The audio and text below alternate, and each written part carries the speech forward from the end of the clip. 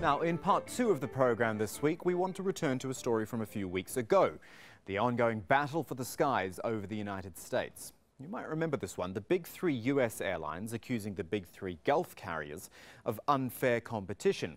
They say Emirates, Qatar, and Etihad would be nowhere without the $42 billion in subsidies they allegedly receive from their governments. The Gulf carriers deny they've been subsidised, but US lawmakers are taking it all very seriously. They're pushing for the government to freeze agreements that allow the Gulf airlines access to US skies. The research filed with the US Congress also shows US airlines have received $155 billion in subsidies of their own, dating back to 1918. When we first covered the story, we heard from one of the smaller Gulf airlines, which very much supported its regional rivals. This week, we hear from one of the big players themselves. Qatar Airways CEO Akbar Al Baker was in Washington, D.C., talking to lawmakers there. His airline alone has been accused of receiving 16 billion in state subsidies. Interesting, too, that one of those airlines opposed to the Gulf carriers is his own One World Alliance partner, so that's not going down too well. Akbar Al Baker sat down for a chat with our Washington correspondent, Shihab Rattansi. There was an interesting statement from an Obama administration official quoted anonymously in the Washington Post. Uh, that official said, nothing is imminent, and then added, the foreign policy and military implications have yet to be discussed. What do you think that official was referring to? I'm not a politician, so I don't want to respond to those uh, political uh, responses. I am the chief executive of an airline, and from the airline point of view, what I have to see is that there is no harm that is uh, uh, the allegation, and at the same time, we are serving the wider people of this great country, United States. We are providing people uh, seamless travel experience. We are providing them high standards of in-flight product. We are giving them uh, um, a travel experience that they wouldn't get from anybody else. Right, but it was difficult not to think of the fight between the UAE and Canada over landing rights at Ottawa, which ended up with the Canada losing a lease on an airbase in Dubai? Uh, you know, uh, different countries behave uh, with a different way. In Qatar, we always deal with uh, things with a very, very uh, stable mind, and uh, um, we address issues which are always in the best interest of both the partners.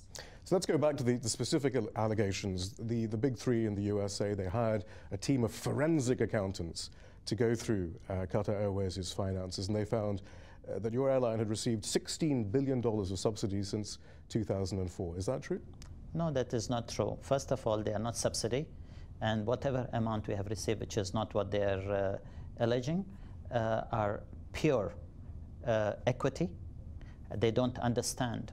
You see, it is uh, like a, a lawyer defending a criminal in, in, in the, uh, or, or defending a, a, case will always raise the bar to, to uh, get to a certain point. But what he, they are being, they are alleging against us is incorrect. Whatever we have received is a legitimate equity. But you have received by, billions by, of dollars. Yes, we have received billions of dollars. Uh, the same way uh, most of the European carriers on, on whose behalf they are raising these issues have also received a lot more than us. We'll come back to that in a moment, but, the, but they did produce these forensic accountants' uh, statements, some prepared by Ernst & Young, the auditor, which talk of these loans, these government loans, as being non-interest bearing and having no specific repayment terms. That, that does sound like a subsidy, doesn't it? Not at all. Uh, the government is the owner of the airline, and they put uh, equity into the airline. Why should they ask for interest on the equity? I mean, this is bizarre. Don't you think so? Let me talk to you about uh, these uh, issues that they raised.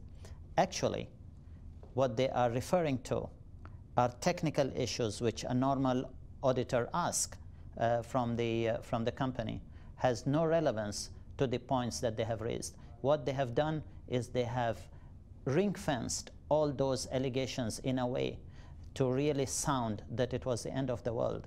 But actually, they are misleading statements and they know very well that they are misleading, but they are just being used to justify their argument. But, but in the current climate, isn't, for example, or would $16 billion in government subsidies it's be not market 16 billion. But it's not 16 billion. Right. This is what they say. Right. But it is not 16 billion. So can we see how much you have received? Will that help? Well, we will respond to the uh, U.S. government when we give our responses to, to all those uh, unfounded allegations. You're always very vociferous in uh, your denial of subsidies, but are subsidies necessarily a, a bad thing for a national airline, or, or, do you think they are market distorting, and that's why you're so vociferous in denying that you're receiving uh, subsidies? Well, I cannot talk about other airlines that require subsidies, but as far as I'm concerned, it is not subsidy. Uh, keep in mind that a lot of their alliance partners on whose behalf they are waging these allegations against us are heavily subsidized by their governments. But because it suits them, they don't want to talk about them. I could give you a lot of uh, names here, but I'm not uh, uh, privy to all these arguments that they so are. Let's develop that thought then. You're suggesting that this isn't really about American Airlines at all. They're just simply doing a favor for European airlines? Absolutely. When they mention that there is harm to them, what is the harm? When they don't operate to any of the routes that we operate to where we carry these American passengers. As a matter of fact, it's a two-way street. We are bringing a lot of tourists to the United States. Uh, the, the, the, the, contribution that Qatar Airways made over the last year alone is very close to 900 million uh, US dollars to the, to the GDP. I mean, these are the things that they are not considering. What they are talking about is on an issue where they don't serve. They don't serve the network where we carry the passengers. So what is the harm? I really don't understand. Other than them fighting a, a, a proxy issue for somebody else. But then when you say that the CEO of American Airlines has been uh, deceived, I think was your word.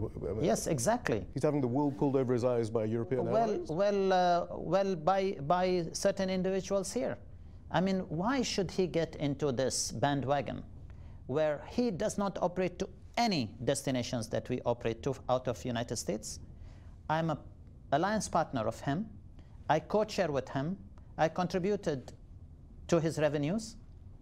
So what is the reason for him to get into this issue? I don't understand. But you must it's have some thoughts. What, what do you think it might be? Well, I don't. I'm sure that when I have the opportunity to talk to him face to face, he will realize that, uh, that uh, it is an issue that he should have never been part of. I mean, the person in their JV that is really should raise the issue is IAG. And they actually are distancing themselves. They have even withdrawn from AEA because of these allegations. So you can see how serious this matter is, uh, is, is getting. And it is, frankly speaking, just a waste of everybody's time.